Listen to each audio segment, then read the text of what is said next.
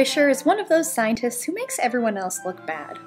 Not only was he one of the greatest evolutionary biologists of his day, he was a phenomenal statistician, geneticist, and eugenicist to boot, transforming the fields of biostatistics and population genetics in the post Darwin era.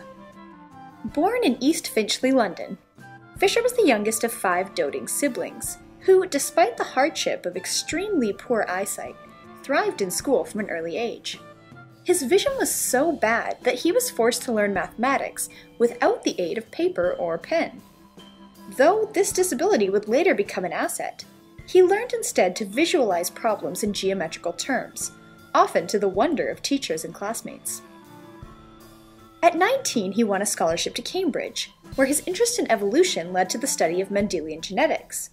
It was at this time that he began to recognize the value of statistics in biological events, a concept that would drive his extraordinary career. It was only by luck, however, that he was able to immediately continue working. Graduating in 1912, in anticipation of World War I, Fisher tried repeatedly to join the army, only to be rejected repeatedly due to his vision.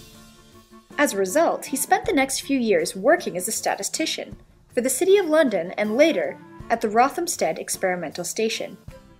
The highlights of his career are too numerous to name. He was the founding father of modern statistical science, the creator of quantitative and population genetics.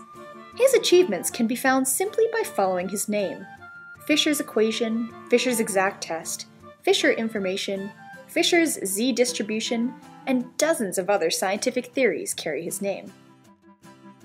But of all his legacies, none inspire quite so much as his ability to make the best of a bad situation.